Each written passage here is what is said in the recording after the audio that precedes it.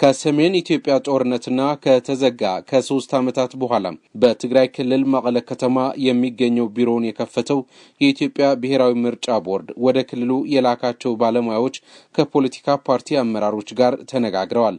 ከመገናኛ ብዙሃንና ከሲቪል ማህበረሰብ ተወካዮች ጋርም ተወያይቷል። ከውይይቱ ተሳታፊዎች አንዱ የትግራይ ክልል የሲቪል ማህበረሰብ ህብረት ስራ አስኪያጅ አቶ ያሬድ በርሀ ጅማሬውን አድንቀዋል።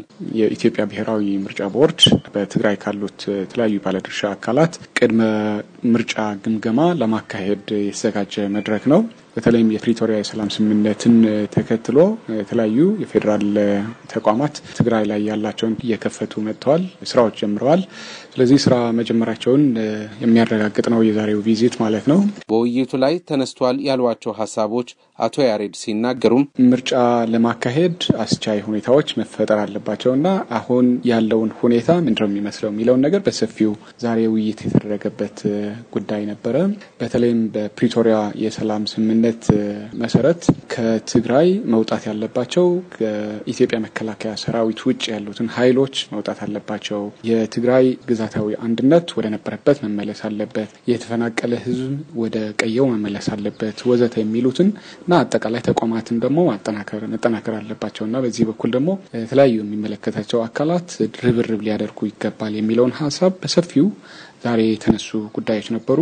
በሌላ በኩል በትናንትናው ዕለት የ2015 ዓ ም የዘጠኝ ወራት የስራ አፈጻጸም ሪፖርት ለህዝብ ተወካዮች ምክር ቤት ያቀረቡት የቦርዱ ምክትል ሰብሳቢ አቶ ውብሸት አየለም በትግራይ ክልልና እንዲሁም በጸጥታ ምክንያት ስድስተኛ ሀገራዊ ምርጫ ያልተካሄደባቸው ሌሎች አካባቢዎች በሚቀጥለው 2016 ዓ ም ምርጫ ለማካሄድ መታቀዱን ገልጸዋል። የኢትዮጵያ ብሔራዊ ምርጫ ቦርድ ሰኔ 14 ቀን 2013 እና መስከረም 20 ቀን 2014 ዓ.ም በተለያዩ ምክንያቶች ስድስተኛው ዙር የጠቅላላ ምርጫ ባልተካሄደባቸው የአፋር፣ አማራ፣ ኦሮሚያ፣ ቤኒሻንጉል ጉሙዝ፣ ደቡብና ሶማሌ ክልሎች ውስጥ በሚገኙ የምርጫ ክልሎች ውስጥ ምርጫን ለማከናወን የጸጥታ ችግር ያለባቸውና የሌለባቸውን የክልል መስተዳደሮች እንዲያሳውቁ በደብዳቤ በተደጋጋሚ በመግለጽ መረጃዎችን ያደራጀ ሲሆን በዚሁ መሰረት የምርጫ አስፈጻሚዎችን መጓደል አለመጓደላቸውን የማረጋገጥ ስራ እያከናወነ ይገኛል።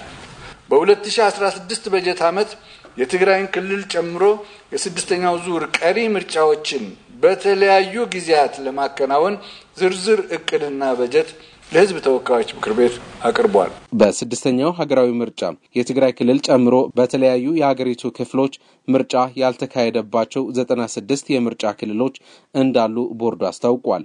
በትግራይ ክልል በ2012 ጳጉሜ ወር ላይ የፌዴራሉ መንግስት ያልተቀበለው ምርጫ ተካሂዶ የነበረ ሲሆን በፕሪቶሪያው ስምምነት መሰረት በምርጫው የተመሰረተው ክልላዊ አስተዳደር ፈርሶ ክልሉና የፌዴራሉ መንግስት የተስማሙለት ጊዜያዊ አስተዳደር በክልሉ መቋቋሙ አይዘነጋም። መቀለ የሚገኙት የምርጫ ቦርድ ባለሙያዎች ቡድን በነገው ዕለትም ከትግራይ ክልል ጊዜያዊ አስተዳደርና የጸጥታ አመራሮች ጋር ውይይት ያካሂዳሉ።